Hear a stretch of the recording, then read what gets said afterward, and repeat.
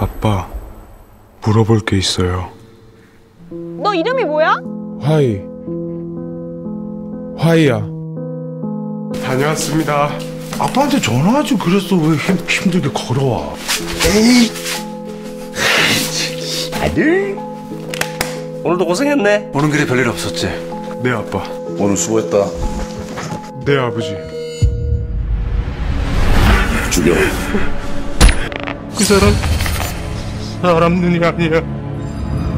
이렇게 계속 키울 순 없어. 아이는 우리하고 달라. 저 못할 것 같아요. 하고 싶지 않아요, 아버지. 넌 아빠들이랑 다르다고? 넌 깨끗하다고? 죽여. 쏴.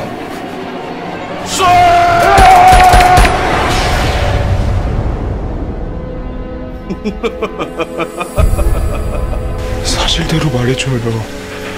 그 아이가 누군지. 아이 처음부터 그러려고 데려간 거지 말리지 않았어요.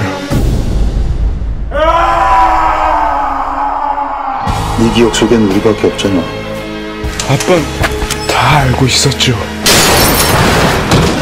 왜 그랬어요? 나한테 왜 그랬냐고. 아빠들이 다 괴물들인데 너도 괴물이 돼야지.